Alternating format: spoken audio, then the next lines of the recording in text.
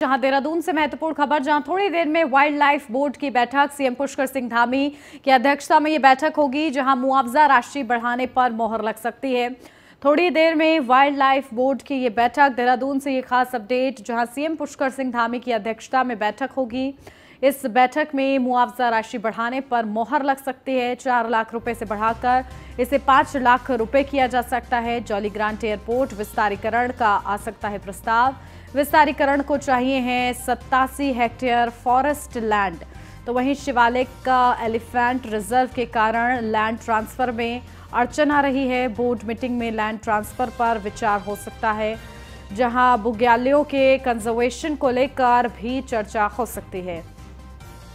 हमारे विशेष संवाददाता सुदीप जैन हमारे साथ जुड़ गए हैं। सुदीप क्या कुछ अपडेट मंथन का दौर है और इस दौरान तमाम संभावनाएँ बरकरार हैं। मौके से क्या जानकारी? जी देखिए आज वाइल्ड लाइफ बोर्ड की बैठक है और ये मुख्यमंत्री पुष्कर सिंह धामी की अध्यक्षता में शुरू होने वाली है।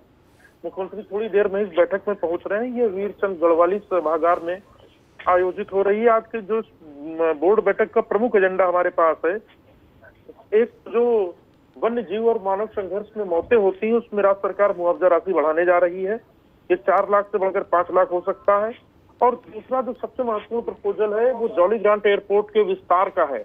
क्योंकि 300 छोटी बड़ी इमारतों का अधिग्रहण किया जाना है और भारत सरकार के जो केंद्रीय नागरिक उड्डयन मंत्री हैं उनका पत्र जो राज्य सरकार को आया था कि आप ज़मीन अधिग्रहण करके दीजिए और बाकी निर्माण हम कराएँगे। और भारत सरकार और राज्य सरकार की कोशिश है कि राज्य की आय डबल हो तो ऐसे में इंटरनेशनल ऑपरेशन देहरादून से होना आवश्यक है।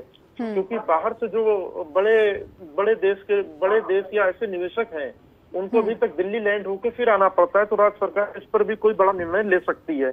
और इसके विस्तारीकरण के लिए जो राजस्व का खर्च है वो तो है ही है। सत्तासी हेक्टेयर फॉरेस्ट लैंड की आवश्यकता है जो सबसे बड़ी बाधा होगी। क्योंकि जो बड़े जहाज़ होते हैं उनके मूवमेंट का जो ऊपर का क्षेत्र है जहाँ वो उनको लैंडिंग चाहिए या रनिंग के लिए रनिंग स्ट्रिप चाहिए उसमें 27 हेक्टेयर जो फॉरेस्ट लैंड आ रही है रिज़र्व फॉरेस्ट है। इसके साथ ही शिवालिक एलिफेंट रिज़र्व के कारण क्योंकि इसके निकट में शिवालिक एलिफेंट रिज़र्व है जहाँ पे हाथियों का मूवमेंट है राजाजी पार्क का तो वो भी एक बाधा है जिस पर बोर्ड बैठक में मुद्दा यानी प्रस्ताव है प्रपोजल है और बोर्ड बैठक में लैंड ट्रांसफ़र पर भी विचार हो सकता है यानी इतना पहाड़ निकाल कर राज्य सरकार को दे दिया जाए। और जो बुग्याल है पहाड़ों के जो बड़े घास के मैदान होते हैं इन्हें बुग्याल कहते हैं उनके कंजर्वेशन को लेकर भी चर्चा है कि आखिर इनकी देख रेख कैसे की जाए इनको कैसे सुदृढ़ किया जाए क्योंकि ये इनमें नेचुरल ब्यूटी तो है ही। इकोलॉजी के रूप इकोलॉजी के दृष्टि से भी ये बहुत महत्वपूर्ण है।